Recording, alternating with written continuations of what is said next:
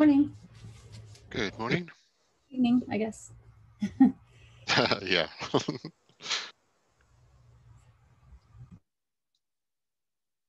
we'll just wait a few minutes until uh, Quinton joins. Fine with me.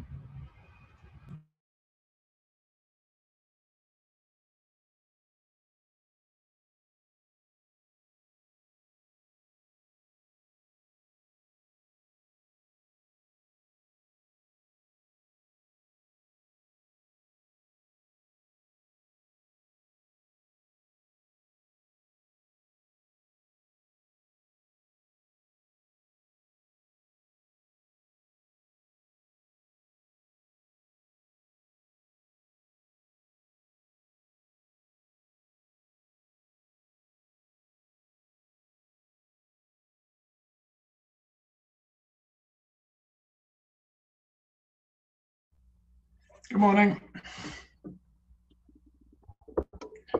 Or afternoon, as it may be. Good morning, or afternoon, or even evening. Okay. Oh, there's 10 of us here already. Good Lord. I'm sorry I'm a little late. I struggled to dial in a little. Uh, I just want to see if I can project here so long. Um,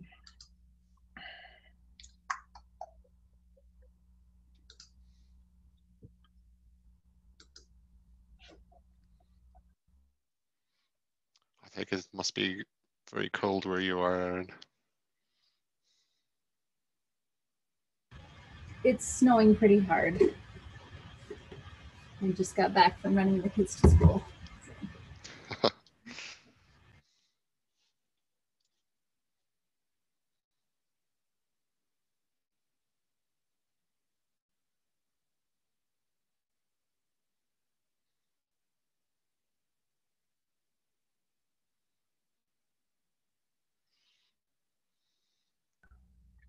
Let me know when you want to start. Uh, Um, I think maybe we can give it one more minute and start at five past, if Okay. that's okay with you. Sure, I, I'm in no rush at all. Um, I'm dialed in from one of these Facebook portal devices, which work really well, but which you can't project a screen from. So I'm dialing in another way too. And uh, hopefully that will enable me to project a document. Okay, sounds good. Right, we're we're looking fairly good so far.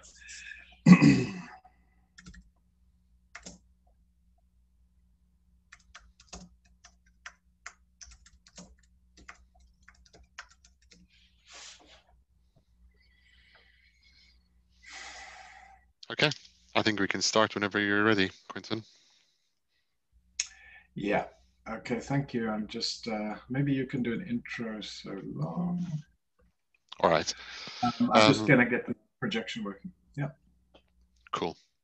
Um, so today, what we're going to cover is um, we're going to um, do a review of the due diligence guidelines, um, specifically as as are you know required as part of the criteria for for projects which are joining um, the CNCF and projects that are um, graduating from from one level to another, say from sandbox to incubation, for example.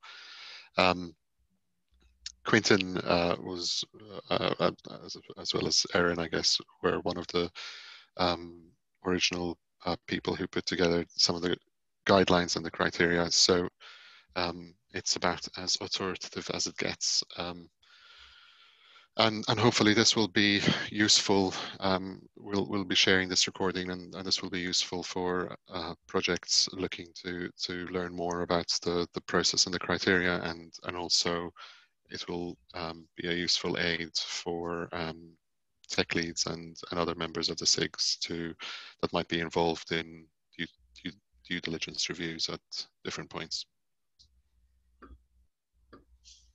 Thanks, Alex.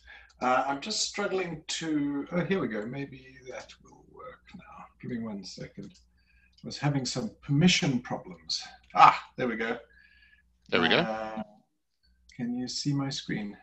Good morning, everyone. Um, yeah, as, as, Alex mentioned, um, a few of us got together a few years ago and tried to, while I was on the TOC at the time, tried to kind of codify some of the um, principles and goals behind these uh, the admission of projects into and out of this the CNCF and between the various different levels. Um, I didn't prepare any fancy slides or anything for today. Um, I was thinking it might be more useful just to treat it mostly as a sort of an overview of the process and drive it through Q&A from the audience. Um, so, so this is the document that we wrote some years ago. Um, it, it First of all, I must mention that I'm no longer on the TOC, so I do not actually officially represent the views of the TOC in this regard. I did write this document, and it is kind of the document that the TOC uses. Um, but uh, if there's any contradiction between what I tell you and what the TOC tells you, the TOC uh, takes precedence for sure. And if, if there's anything that I say today that any of you think is uh, contrary to what the TOC might uh, have told you recently, uh, then, then please do bring it up so that I don't confuse people with misleading information. Um, so I think the first thing, and I'm not going to go through all the bullet points, uh, this document, you can see the URL at the top, it's pretty straightforward. Um, has links to all of the various bulleted lists of criteria and levels, etc. But I think it's important to understand that, that there are three different levels of, of involvement uh, of projects in the, in the CNCF. I'm sure most of you are familiar with these terms, but it's useful just to recap on what the overall intention of the different levels are.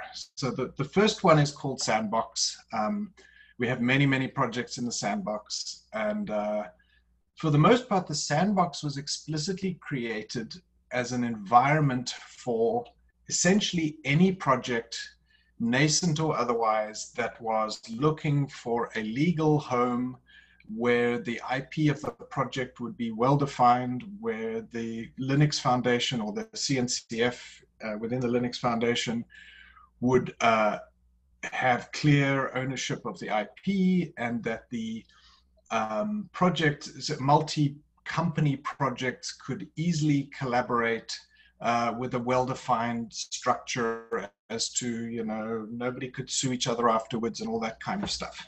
So, so that was the, the overall goal. Now, what that means is that essentially, if somebody has a good idea and says, I think I've got a good idea and I would like to collaborate with companies X, Y, and Z uh, to figure out whether this good idea can be turned into some kind of useful open source project. That could be a sandbox project. Uh, and so any, any sort of indication that it has to have code that meets certain standards or certain commit rates or anything else are, are I think, misleading. Um, the intention is clearly that these these sandbox projects either um, gain some momentum, you know, within a reasonable period of time, getting all of the people together to collaborate on this idea or project, or maybe it's already, you know, a, a project that exists that has a bunch of collaborators who are looking for a, a legal home, um, and and the the expectation is that it either gains some momentum uh, and and actually starts happening or it dies. Uh, and and it, by dying, it might be there's no interest in collaborating on this project or not enough interest to actually get a, a viable community around it. Um, or maybe they do get a viable community around it who go and explore the space and decide that it's actually a bad idea and cancel the project. And these are all reasonable and expected uh, potential outcomes of sandbox projects. Of course, another one is that the Sandbox project does become something useful, that we end up with multiple companies collaborating on a useful thing. Uh, it gets some steam behind it, people contribute, uh, it starts working. Um, and then at some point it gets starts getting used in production by limited numbers of customers or users. Um, and then we can say, oh, maybe it's actually something that is sort of reaching some point of you know 1.0 completion, and um, and we can consider moving it into the incubation um, part of the CNCF, which is a different level. So um, does that make sandbox somewhat clear to people? And feel free, please do interrupt me along the way if anyone has questions. Deathly silence. Is anyone here? That's very. I think that's very clear. okay, good. Um, so the next level up is is uh, what's called incubation, um, and so again, you can go to the links and you can see there are specific criteria.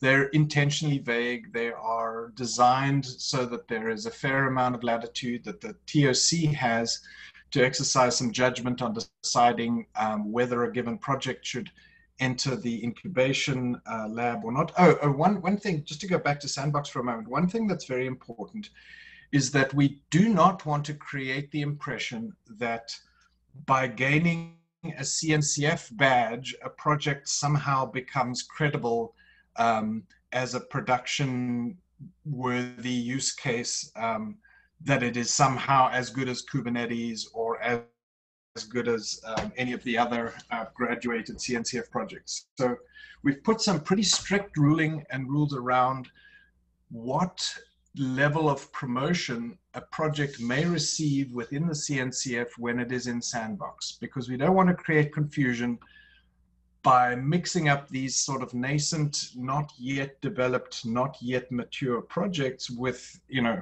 clearly mature projects like like uh, Kubernetes and and the other graduated projects. So so uh, there will be no, you know, big banners. There will be no press releases. There will be no, um, you know, socks with with you know Sandbox Project X on them uh, at the CNCF, uh, at, least at KubeCon events um, produced by the CNCF or, or, or, any of the organization. In to the extent that they are, these are essentially mistakes. Um, the, the, intention is very clearly not to promote, to actively market and promote sandbox projects, but rather just create a legal home for them to get started. Um, right, so progressing to the next level, which is um, incubation, these are projects that are you know, still relatively new. Um, they might be, you know, 1.0 or thereabouts. Um, they have a limited number of users, uh, maybe a few, uh, who are starting to use them in production. Um, they have an active development community of uh, may even, I think somebody correct me if I'm wrong, it may even be a single company who has got this thing to a point where people are actually using it in production um, in you know some albeit some kind of limited form. Um, they may not have all of their T's crossed and all of their I's dotted. They may not have all of the requisite committees in place and all of the requisite governance structures in place.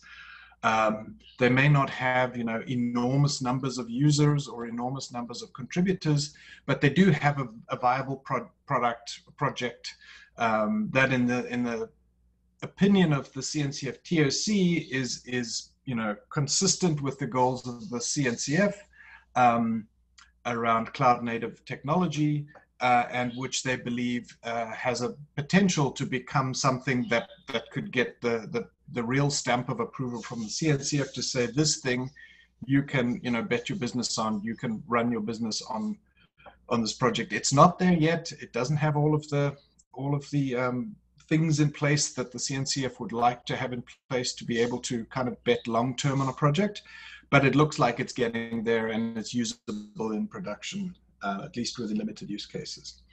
Um, and I think that is, you know, that is the point at which we do the main bulk of the technical due diligence on projects is when they want to go into this incubation stage.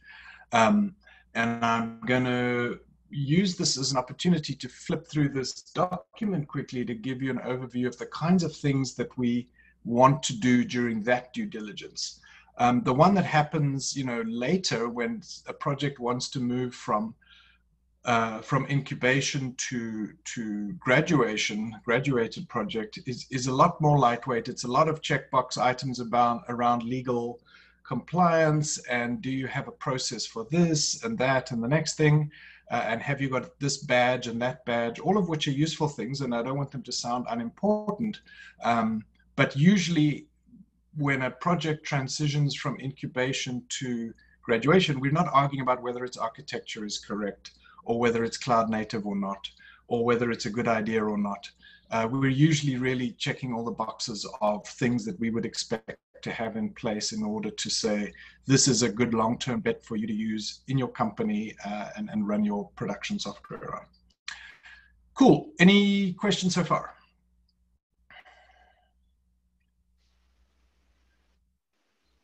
Deathly silence. Okay. Please do uh, interrupt me. And in fact, Alex, I'm going to ask you to like, as a point of uh, just to keep the debate slightly lively, please do ask me questions, even if even if you don't really want to, because um, I think it's useful. There, must I be will some, do. some questions that come, come up along the way. Okay, so you know, there's there's a bit of blurb there. Basically, if you're doing a technical due diligence, particularly for for this uh, CN, uh, uh, CNCF SIG, um, your, your overall role is to try and gather all the information that the TOC would be wanting in order to make a judgment call on whether a project should or should not be uh, either admitted at one of the levels, uh, sandbox, incubation, or graduated, or whether it can um, move from one level to another, sandbox to incubation, incubation to graduation.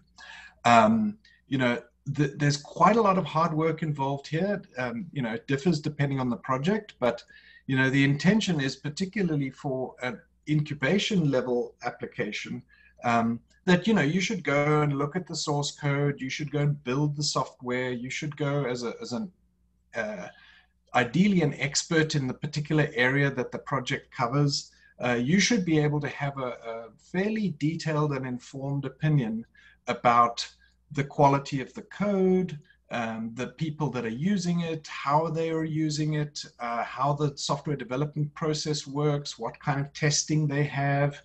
Um, is the code in reasonable quality or not? Are there any people in the open source community that are, you know, arguing and fighting about things? Uh, all of these things are, are relevant and, and they're not things that you're going to find by reading the application form that the project filled in uh, to say we want to be in incubation.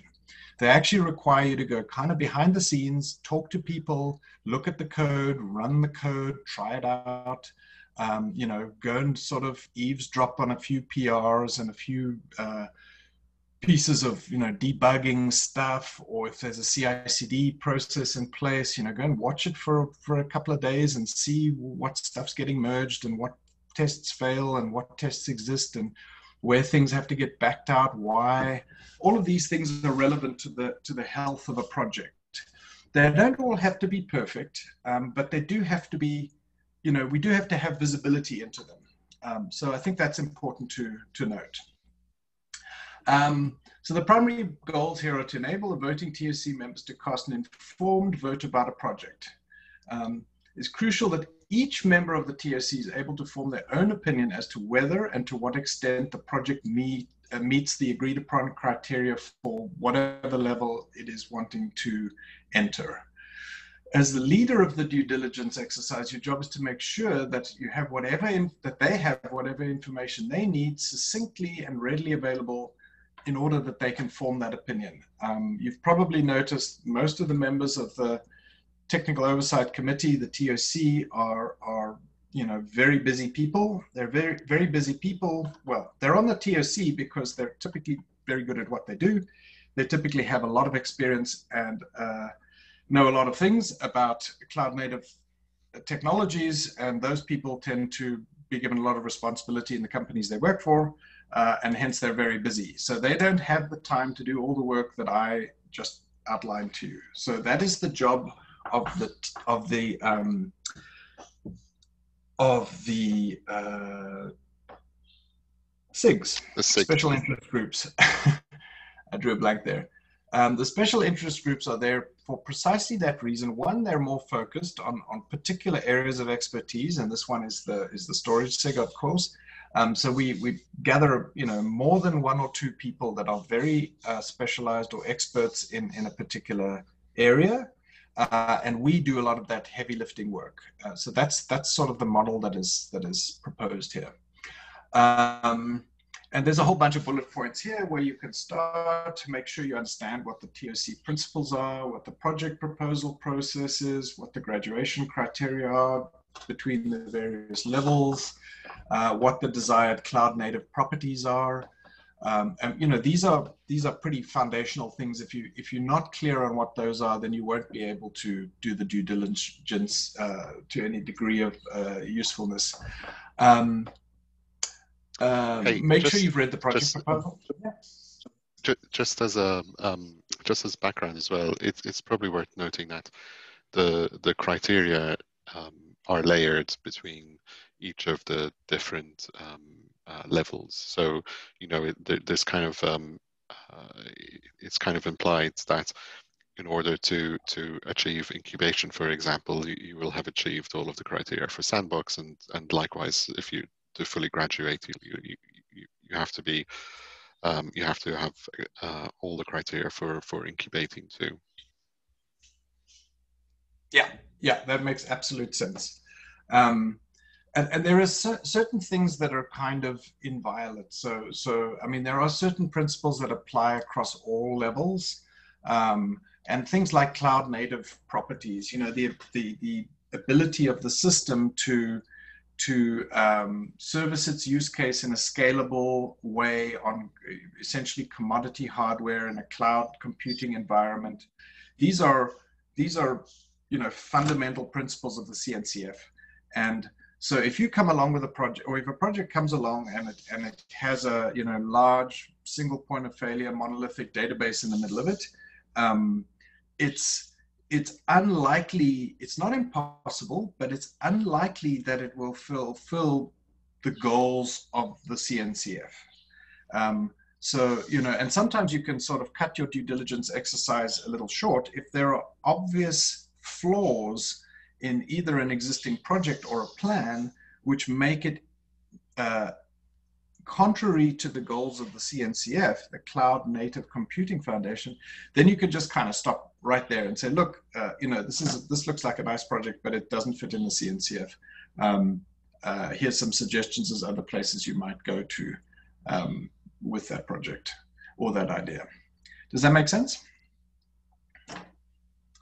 And, and the Linux Foundation, by the way, has has several different foundations within it, uh, which cater to different uh, areas networking, uh, storage, uh, tel- telcos, uh, machine learning, etc. So it may just be that this thing is, not, you know, there's nothing wrong with the design of this project. It just doesn't fit into the into the sort of uh, the sphere of the CNCF, and it fits better in some other foundation, either within the Linux Foundation or outside. And and hopefully we will be able to guide you in that direction. Um, yeah, I I I, I, okay, I think so- that's that that that point is is is a is a particularly good point because I think we've we've seen that um, we've seen that happen a few times in fact um, when the TOC have been voting on on sandbox projects or questions that have come through um, from from the TOC on on incubating projects as well. So so I think you know this is it it, it is a, a good point to um, to obviously not join the CNCF just for the sake of joining the CNCF. It, it, it needs to be a good fit as well. Yeah, that's true. And and actually maybe this is a good time to just have a slight kind of diversion. So one of one sort of syndrome I've seen uh, a few times, or more than once at least, um, is that the you know KubeCon in particular, you know, obviously less so now that it's virtual, but but hopefully we will resolve that at some point. But KubeCon in particular and the CNCF in general has been an incredibly successful vehicle for promoting uh, open source projects. Uh, arguably, you know, the most successful vehicle available to any open source project, uh, provided that it fits into this space. And and you know, the whole cloud native space, as as all of you are aware, is you know on everybody's tongues. So so there's a there's a very strong motivation for open source projects to be seen to be strongly affiliated with the CNCF for a purely marketing and promotional point of view. It's a very good brand, it's a very strong brand, uh, and and a lot of companies and, and open source projects see a lot of benefit in in coming to the CNCF and becoming part of the CNCF family of projects. On the flip side, uh, the CNCF is, is really trying to create um, a foundation or is has created a foundation um, to a greater or lesser extent, which which helps the consuming uh, environment, the, the people using and wanting to use cloud native technology to provide them with a with a sane structure of projects where they can easily understand what is what, why these projects exist, how they fit together, whether they interoperate properly, etc. And so sometimes those two goals are at odds. Um, sometimes a given project may not actually fit into the sort of clarified vision of cloud native computing that that the foundation tries to create for consumers so that they can understand what's going on. Uh, in other cases, some of the projects are just not mature enough. So so to create the impression that project X is usable in production um, when in fact it's not, and and people may try it out and find oh wow it's got a whole bunch of limitations that weren't documented and now I'm having a bad experience and now CNCF you've you've made my life difficult. So, so there's this this kind of tension between these two, and and to a large extent, this due diligence exercise is designed to resolve that tension, um, and and try at, at the very least to clearly explain to projects why they may not at this time fit within the CNCF well. Um, or advise them as to what they could do to change things. In some cases, these are just, you know, honest errors where they made either architectural choices or uh, choices in how they run their project or whether they collaborate with other companies or how they deal with them um, that make it difficult to fit into the CNCF. And they're like, oh, wow, that's great advice. We're going to change that and we'll come back in six months' time and, and then we'll fit in. Um, and uh, so anyway, I'll, I'll, stop babbling on about that. But just to point out that there is there is a bit of a tension there, and and, and part of the due diligence exercise is to try and resolve that tension. Um, so here's a bunch of questions. I'm just going to rattle through them. This is going to be kind of boring, but hopefully it will trigger some conversation and questions. Um, because these are the explicit questions that you should be asking yourself and noting the answers to as part of your due diligence exercise. Is there an architectural uh, diagram, uh, feature overview? Um, can people, you know, with a diagram understand, oh, this is what this project does? Um, what are the primary use cases um, and which of them are accomplishable now? You know, sometimes there are use cases that are envisaged for the future, but the project is not ready to service them today. Uh, which of them can be accomplished with reasonable additional effort uh, and are perhaps even already planned on the roadmap. They'll be delivered in later this year or whatever the case may be. And which of them are explicitly out of scope. Um, so it's entirely possible that you have a, you know, data distribution system that that is specifically designed for particular use cases, either rate of churn of the data or size of the data or whatever. Um, but you know, distributing large blobs is is explicitly out of scope. Or distributing things that have you know millions of subscribers who want to know when the data has changed. That's just not part of the design of the project. So it's as important to understand what's in scope as what is out of scope um, and and make sure that these things are clear. Because if somebody wants to use you know a key value store to distribute their movies, uh, it's probably not going to work very well. And sometimes that's not obvious when you read the marketing blurb around a project. It sounds like it it's just awesome for everything. uh, what exactly are the current performance, scalability, and resource consumption bounds of the software? So do do the does the project actually understand exactly at what point the software breaks either uh, performance wise, scalability wise, or resource consumption wise? And have they actually been tested? So if they claim this thing scales up to millions of rows of data or whatever the metric is, like has anyone actually tested that and proved that to be the case? Uh, many of you might remember that Kubernetes in the early days only actually scaled to like 100 nodes. Um, and it took a very, very long time, many, many years, to get it to even a few thousand nodes and uh, and those limits were empirically derived by actually doing tests on some of the stuff. And I don't know where it stands at the moment. I'm guessing it's in the sort of 5,000 node region, but I'm not sure. Um, but th- there's an example of, of, of that kind of thing. Uh, what exactly are the failure modes? You know, what what what happens when things fail? Some some architectures fail catastrophically. You know, if you have a single point of failure database and it goes down, and you have no mirrors and no caching, um, the system is typically completely down.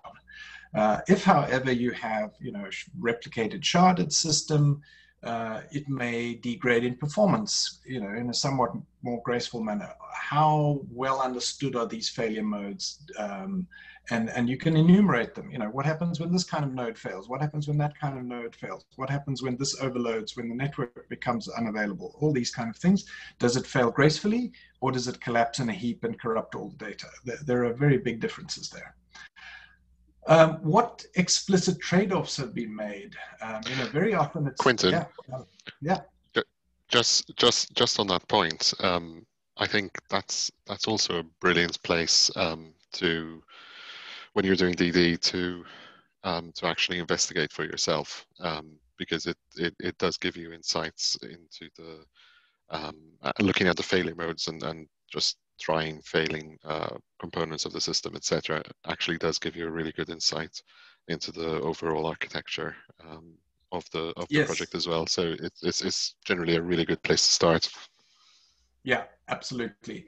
Um, you know, one tension you'll find there's a lot of if you were to do all of this stuff yourself um, manually, it, it's a lot of work. Um, and so, quite often, what I end up doing is going to speak to the project architects or the, the you know the leaders of the project and get a sense of whether they've thought about these things. If they can give me reasonable answers, yes, we've tried that, um, and this is what happens, or we haven't tried that, but but the architecture tells me that it that it would do the following. Um, th- that's often a good enough answer. Uh, if the project leaders have not even thought about these things, then that's more of a red light to me because that indicates that they designed the thing without even thinking about what the failure modes would be, and that often means that they're pretty bad. Um, and that's you know again, it's not your choice to, it's not your place in life to decide whether a given uh, architecture or design is good enough.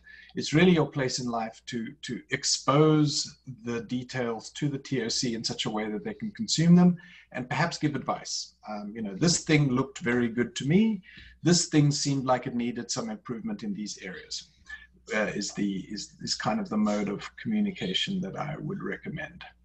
Um, trade-offs around performance scalability complexity reliability security etc um, you know there it's it's almost impossible to build a system that is you know infinitely performant infinitely scalable uh, very simple highly reliable and fully secure. Uh, it just doesn't exist. So inevitably explicit trade-offs need to be made. We decide that we're going to make the system more complex in order to make it more secure maybe uh, or hopefully less complex to make it more secure. Um, we we trade off, um, you know, performance for reliability. That's a that's a pretty classic kind of trade off. So certain kinds of performance, uh, you know, central centralized single point failure relational databases are actually very fast. Uh, you can do you know amazing numbers of transactions per second per node on those things. They just you know when they fall over, they fall over. And so, so there's an explicit trade-off that often gets made. People use less performant databases, for example, um, to get better reliability, um, etc. Um, what are the most important holes uh, in the project? Like, do they know that they have no uh, extensibility or integration points, or they, they, don't have a very good high availability story at the moment? Um, sometimes knowledge of these things, particularly at the incubation level, um, is is good enough. You know, we, we we know we have this shortfall. We're working on it. That's part of our incubation efforts. Uh, it's still usable in production, but there is this you know theoretical failure mode that we don't like, and we're working on solving that. What does the quality of the code look like? Uh, yeah. Uh, just a, a, question before you, you move on from those last two. Um, those are common kind of backlog or issues that a, a good healthy project keeps visible uh, to all players so is the check mark saying that there's some architects that know what those trade-offs and holes are or is the check mark saying the project is is good in giving visibility to all those involved of what those are? That's a that's a very good question. Um, and first of all, there's no checkbox. Um, and secondly, it depends very much on what what level we're talking about here. Um, you know, if if if a project wanting to graduate uh, has uh, an obvious single point of failure that is not, you know, at the very least made highly visible in big flashing letters on the front page of the product project, um, then you know it's it's almost definitely not going to graduate. Um, even at incubation level, uh, you would definitely want that stuff made visible. Um, clearly, anyone wanting to use the system should know what the restrictions are and what risks they're placing themselves under in terms of availability or performance. So the the t- you know to to the extent that there is a checkbox, it's exposing the stuff, and then it's up to the TOC to decide. Okay, we we tell potential users of this open source project what these limitations are are those reasonable limitations? Is the project still useful? Uh, are they solvable problems, etc.? Does that does that answer your question, Tom? I think you you're, you're the answer is it's it's subjective based on which which gate they're going through. Yes, it, it is definitely the case that being clear about what the limitations are is is very important and it may be fine to not solve the limitations, provided that there are workarounds or use cases where those limitations do not uh, create a huge problem. It's not the case that every project has to work in every single use case uh, perfectly, but it does need to at least work in some use cases well enough. Make sense? Yeah, agreed. And some of the most successful projects I've seen are the ones that do a good job of deciding what they're not going to do. Um, and, exactly. And so, uh, it. I guess I'm just curious on how the CNCF and storage sig can help uh, present a, a, a best practice kind of idea of taking these concepts and modeling what is good healthy examples of giving you know making those visible to all the developers and contributors and users. Yeah that that's very good feedback and i don't think we've necessarily tackled that specifically alex. Correct me if i'm wrong. We have the white paper which i think does a pretty good job of outlining um, this sort of the space of storage and the kinds of failures and the kinds of areas that one needs to think about. Um, but I think we could kind of distill that into, you know, what, what you've kind of referred to as a bit of a checklist, uh, or maybe the specific answers to, to these particular questions per project. And that, to some extent, that's what the due diligence report is supposed to be, is to take all of, all of the kinds of things that people might care about and create explicit answers to them. Make sense? Yeah, yeah, make, yep, thanks. Cool. Uh, okay, so Alex, how much time do I have? Do, do, do we want to cover anything else in this meeting or should I just carry on waffling? Um, no, we have about 20 minutes left. Okay, cool. I, I will try and step it up a little bit. Um, you know, code quality is pretty uh, self-explanatory, uh, but of course, you know, just to state the obvious, uh, if, if your code quality is pretty bad at the beginning, it, it typically doesn't get worse. Uh, it, it, doesn't get better, it gets worse. So if you have a project that has like horrendous code quality at the beginning, uh, then you should raise that as a big red flag. Uh, particularly, you know, poor choices of language, languages that don't scale well. Uh, if you don't think that it's possible to kind of move from a point where the project is to to graduation ever without you know rewriting the whole project, then that would be a pretty big red flag. Uh, and there are a couple of languages, I won't diss any in particular, but there are a couple of languages. There, there are actually, you know, major open source projects that have failed because of relatively simple things like like choosing the wrong language for the particular project they were doing and running into a wall where it just could not scale to the the size of a project not so much scale in terms of performance of software but just scale in terms of the size of the project that that they were planning to build and the size of the teams, and, and the language may just not lend itself to large projects like that.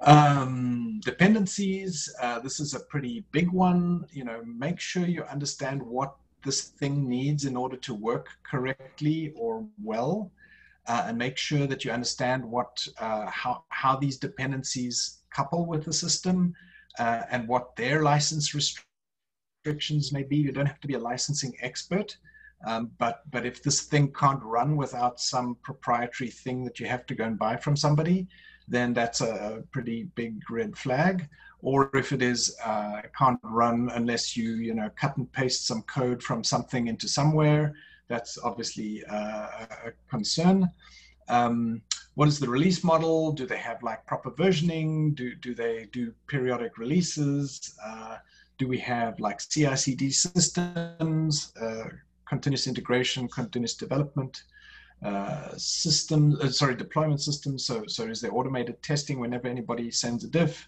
Uh, does it uh, get tested and merged if, if appropriate and caught if it doesn't work properly, etc. These are all important. It's not the case that every single project has to have them right from the beginning, um, but certainly once you get to incubation, you want to have a, a reasonable CI/CD system and decent uh, automated testing.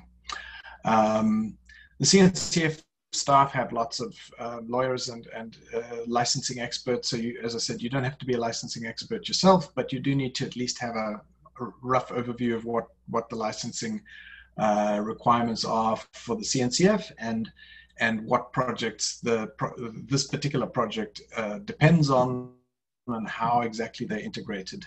Um, do we import their code? Do we just install that thing before installing the project, etc.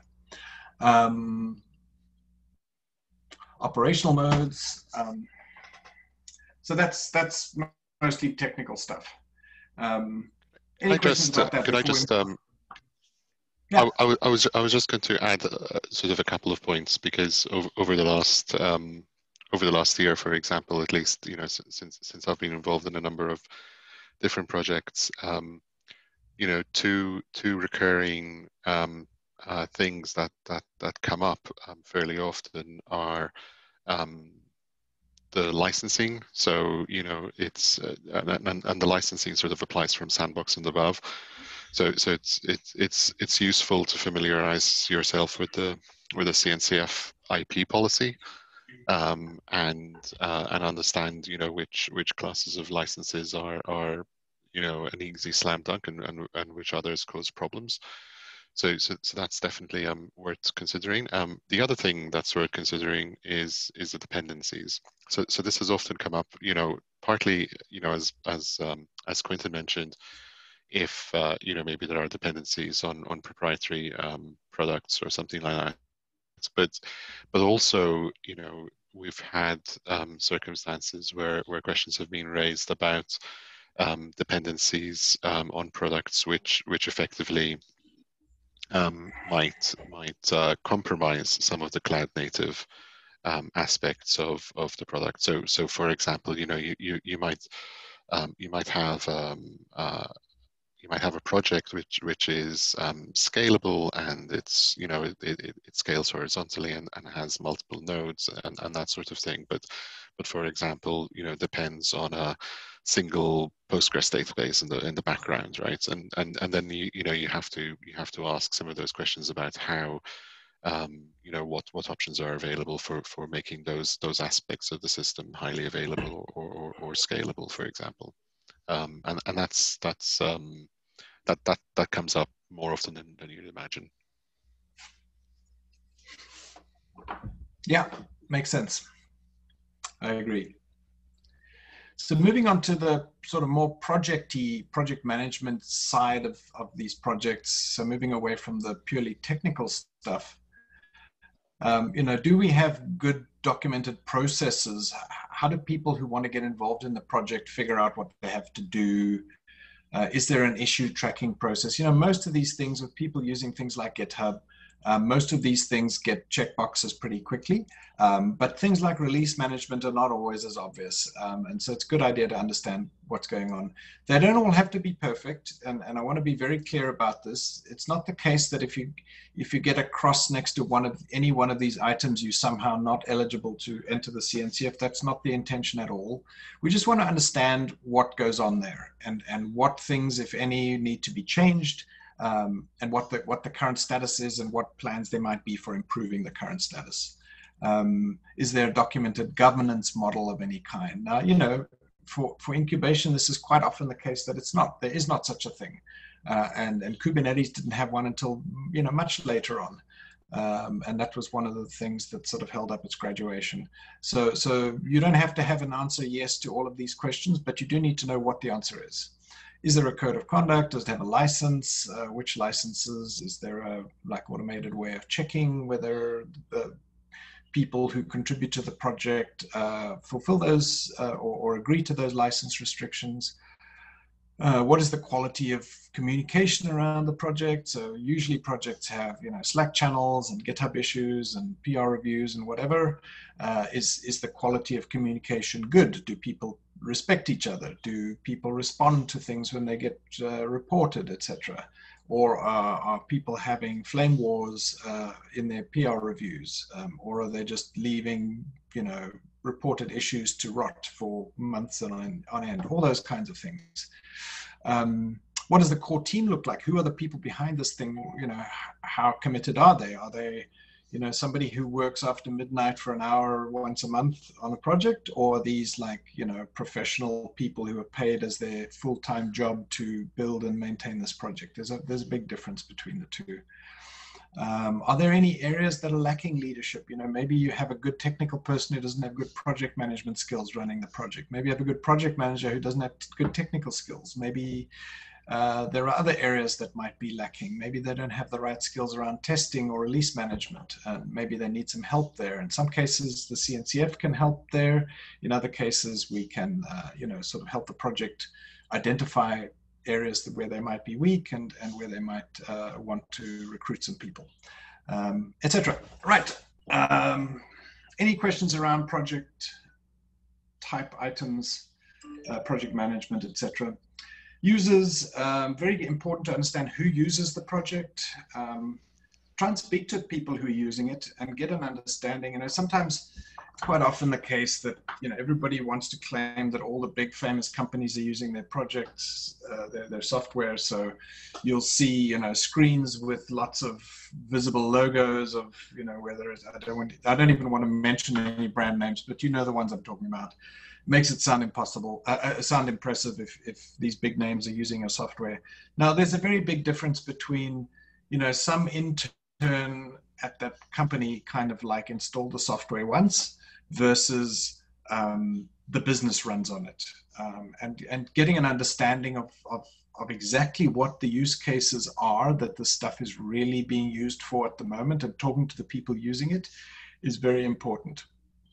Um, also, all projects have both strengths and weaknesses. Um, so, so if if you get a bunch of people telling you that everything is awesome and it's perfect and it changed their lives, it's probably not true. All projects have strengths and weaknesses, and you need to understand both of them. Um, there's also, you know, a huge amount of viral marketing out there around projects. And so your job is to actually cut through all of that stuff. Anybody can read all the buzz and the Twitter feeds and everything else about a project. That's not actually the information that is useful in deciding uh, whether a project is uh, well used, whether, whether it is technically sound, or whether uh, users of it uh, like the project for, for the right reasons. Um, so it's very important to kind of cut through all the hype and, and get an understanding of, of what's really going on there. Um, and I think, you know, most of the remaining stuff hopefully is fairly self-explanatory. You know, contributors on the project should be welcome, feel welcomed. Um, there should be reasonable onboarding procedures where people who want to contribute can. Um, sometimes useful to understand, you know, how this project came to be. Um, one again, one sort of um, syndrome that I have seen is that uh, some projects originate inside often big companies.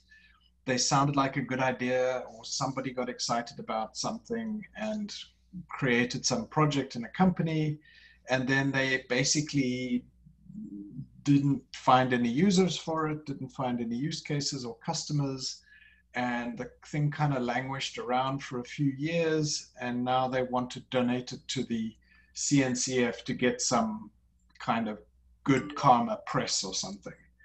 And and it's important to kind of spot those. You know, if a project has been around, even if it's only applying to be in the sandbox, which doesn't have any strong requirements for you know heavy use or, or stability or anything. But if a project's been around for five years and allegedly people have been working on for five years and and it still doesn't have any users, um, you should ask some pretty you know pointed questions about why have you got no users? Um, you know is there something wrong with the software? Is it a use case that that is not important to people? You thought that there was a need for this thing that nobody actually turns out to need. Um, th- those are questions well worth asking. You don't have to be rude and you don't have to be um, you know disrespectful in any way but they're definitely questions that need that need answers. And don't be shy to just keep asking until you get the answers you're looking for or, or at least um, sufficiently in-depth answers. Uh, and sometimes you won't. Sometimes people won't be able to give you the answer, and, and in that case, that, that that is an answer in itself. Um, if people can't explain to you why they have no users after five years, then then probably this is not a project that's going to thrive in CNCF. Right. Um, on, um, on, your point, on your point about users, Yeah. um, so we were just accepted into the sandbox yesterday, um, the Pravega project, and Oh, uh, one thing that kind of became important to us, even though we started with an incubation application, but um, whether we skipped over this definition or uh, or the definition clarified itself in the intervening months, um, but at the different stages, you know, the types of users are important. So for us as a vendor, you know, our um, our customers weren't necessarily um, end users according to to definitions. So um, anyway, that's a, I think an important thing for projects to understand at the at the various levels. Um, the definitions of vendors and uh, not not necessarily being users, and their customers not necessarily being users. And what you're really looking think- for is kind of think- open Oh, that- source users. Sorry, Ye- go ahead. Yeah, just Yeah, ju- ju- just to clarify on that point, ju- just to clarify on that point, I think what's what's important is that um, there are production users of the the open source project as it's being submitted. Um, Right. So you know, if if for example, the the production users are only using um, a commercial version of the project that includes components that aren't available in the open source version, for example, um, those users probably wouldn't qualify as as as necessarily as as end users of the of the open source project, like like as what happened in Pravega. But I think I think we can we can probably look forward to to remedying that um, Yeah. during a I mean, I think we're yeah, I think we're happy about it, but uh, but, but yeah, the, these transitive users, uh, you know, it's it's good I think to to understand that. Uh, And just to, to clarify your point, Derek, um, was, was your point that sometimes the people using the software are not what we would term end users? They might be vendors themselves or integrators or, or whatever the case may be. Was that your point? Yeah, that as well as um, you know, you can have really solid production use, but maybe not, but maybe that doesn't qualify as as open source end users. Yeah, yeah. I think that's that's actually perhaps a point worth expounding upon. Um, you know, open source window dressing is not what we're after here. And I, I, to be clear, I'm not accusing you or your company of this, and I, I wasn't actually involved in that due diligence at all. But but I have seen it before where you know a small little sliver of a big commercial project is open sourced, and and maybe even it has the you know community edition label on it or something um, but is is you know not very useful in practice or in production. And in order to to use this thing in any kind of reasonable production environment, you have to go and buy the commercial license with a whole bunch of add-ons that you, you know are not open source. That that's not a model that we're promoting here. The the open source components, the stuff that that lives within the CNCF, should itself be a viable productionizable productionized system uh, by all means, there can be commercial add-ons and, and proprietary additions, but the core thing that is open sourced in the CNCF should itself be useful in production. Yeah, right. Absolutely. Yeah, and I think uh, on our side somehow we um, we kind of overlooked these these definitions. Um, and, and so, that's a good point. We should we should uh, we should clarify that, Alex. Maybe if we if you can make a note, um, and we can we can make sure that that's because because that is a recurring. We've seen that more than once. Let's put it that way. That that confusion. Uh, a lot of a lot of uh, software companies' business models are kind of built around this. Uh, I forget exactly what the, the commonly used term is, but you know, there's a community edition or an open source part of it, and then there's a bunch of commercial stuff that's addable onto it. Uh, open core, I guess, is the term. Um, right. And that's that's quite common, and and it can confuse people. Uh, and there's nothing wrong with you know open core where where the part that is open source is only usable to like kick the tires and play with. Uh, but that's not the intention of the CNCF. The CNCF right. is is open source projects that can be used in production at scale. Right. Well, yeah. In our, in our case, we want the open core to kind of compete with the with the product. You know, so uh, yeah, we're we're happy to be here. Eager to get going. Cool. I thought that was and welcome. Pointing out. Yes, thank you. Absolutely. Cool. I think we're pretty much out of time, so maybe I should stop waffling now. Uh, you can read the rest of the document um, and feel free to discuss on the Slack channel or um, feel free to email me. If you Google me, I'm sure you can find my contact details um, or ask on the Slack channel. And uh, happy to answer any questions offline.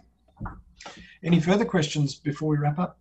Hi, yes. Um, so this is Yanis. So I just want to say that we might need for, uh, so I'm from the other side, the ones that didn't get in on the sandbox. So congratulations to yeah. Pravega, right?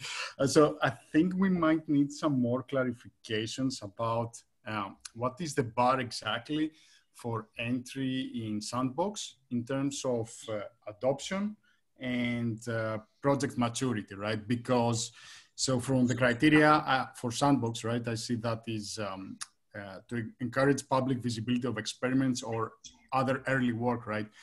Pra- Pravega doesn't look to me uh, like, um, as an example, right? It doesn't look like a project that it was an experiment or something, right? It looks like a proper company to me, right? So it's a, uh, it's a bit mixed, I think, the messaging that we get right? So mm-hmm.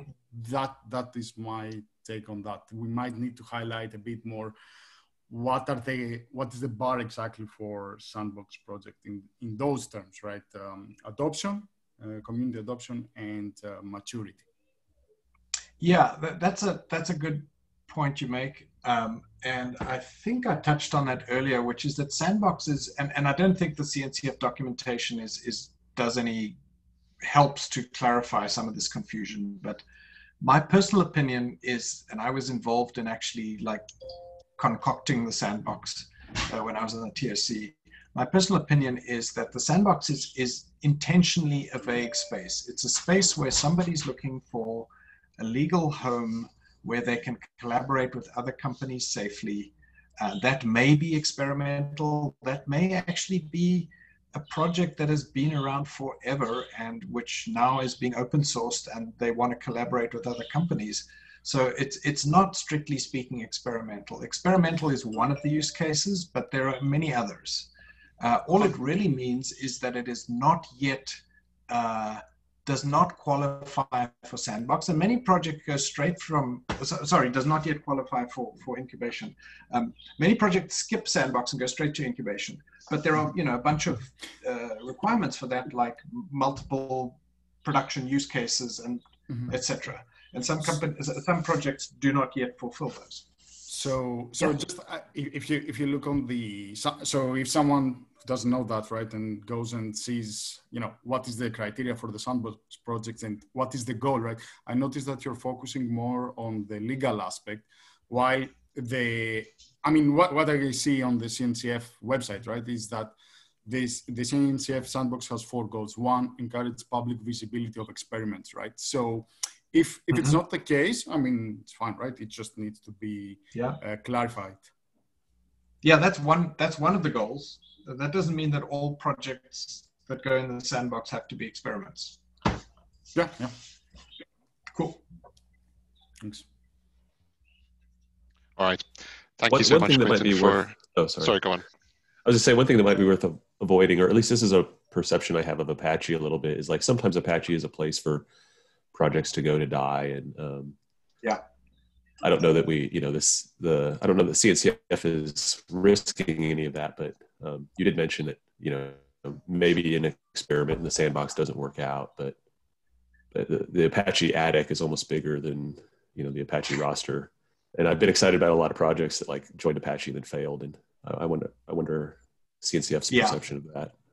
Yeah, we do. We do have, uh, and we should probably wrap up now because we're out of time. Yeah, sorry. but um, we do have uh, a, good conversation. We, we do have processes for archiving projects explicitly. You know, some projects do die, and, and that's kind of reasonable as long as they're flagged accordingly and they're they're not uh, presented in the same kind of light as as thriving projects. I think that's fine. Um, and and all of these there are sort of very vague guidelines around timelines you know peop, uh, projects cannot sit in in uh, sort of limbo forever uh, i think it's reasonable for a project to kind of get stalled temporarily maybe companies change direction and new open source contributors need to be uh, sort of engaged in the project to get it going again but it can't just sort of sit there forever in limbo. Uh, then then it it will either get archived or or removed from the CNCF, and and there are processes for that. Right. Thank you very much, everyone. I have to run. Uh, it's been a great conversation. Uh, I enjoyed it, uh, and uh, hopefully we'll have some more in the future. I hope it was useful. Thanks, everyone. All right. All right. thanks Bye-bye. Thank thanks you. Bye. bye bye